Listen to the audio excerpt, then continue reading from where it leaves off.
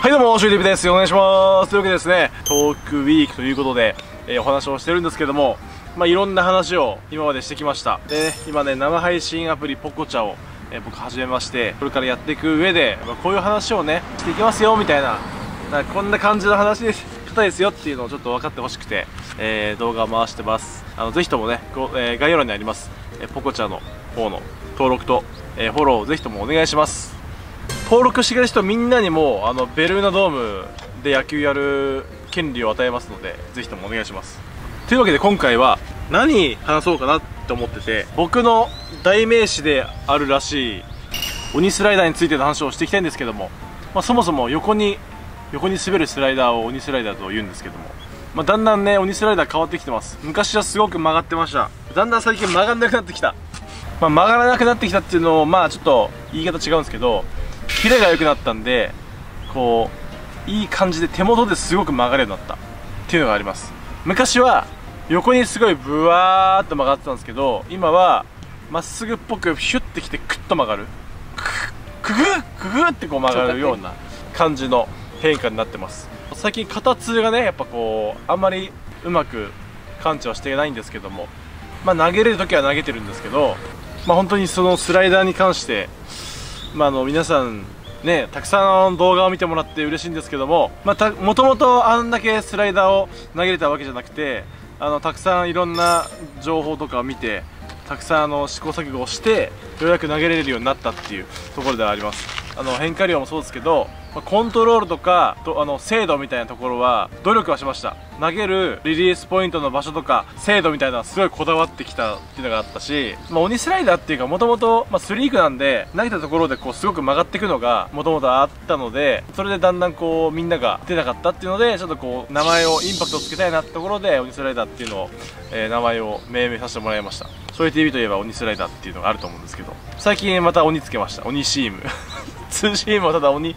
けただけ。2をただ鬼にしただけ。けどやっぱりもともとその鬼スライダーっていうのを投げて抑えてた時代の前に実はスライダーよりツーシームの方が得意でツーシームの方が打たれなかった。ツーシームはどうしても曲がりが昔は速くて打ちやすかった分かりやすかったんでよく打たれてたんであまりこう重要視してなかったんですけど最近はだんだんもうなんか打たれなくなってでスライダーもスライダーで一定じゃなくてちょっとこう握りを深めにもっと深めに持ったりちょっと横にずらしたりちょっと浅めに持ったりちょっとこうね真横から少しこう縦にしてみたりこうちょっとの変化でちょっとのこの指のこの持つ変化でだいぶ変化量も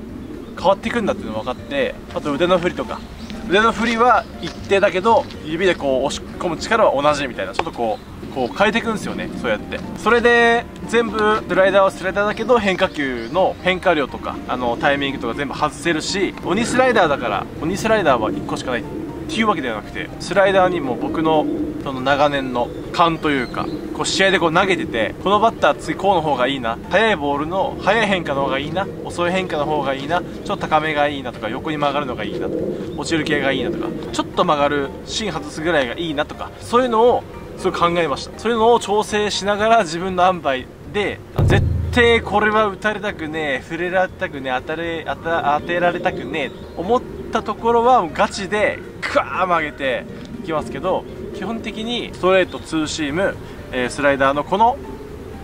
違いっていうのをちょっとこう感じてもらって打ちにくくしたいな。あとはまあいいファーストも投げますしちょっとこうカーブもあのドローンとしたやつも投げますしたくさんこう変化球を覚えて来たのでいろんな変化球投げれます本当に。ただ翔平スライダーっていうよりかもう鬼スライダーって名前つけた方が印象づくってところで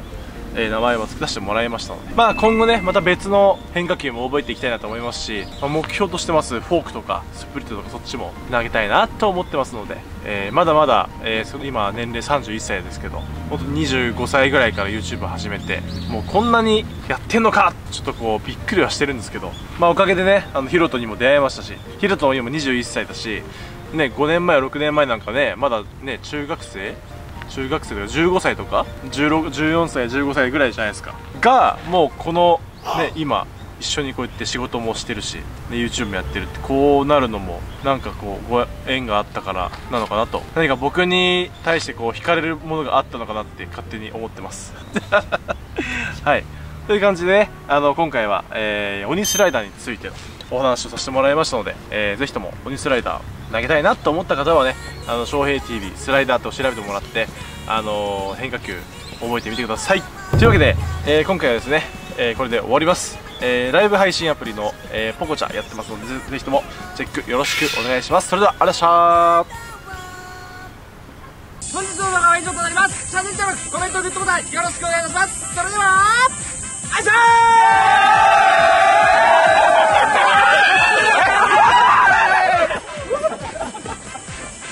翔平 TV2022 年版 T シャツスウェット販売購入リンクは動画概要欄にあります。チェックよろしく。チャンネル登録1万人突破。皆さん本当にありがとうございます。2万人3万人4万人と頑張っていきますのでこれからもよろしくお願いします。チャンネル登録は必須でお願いします。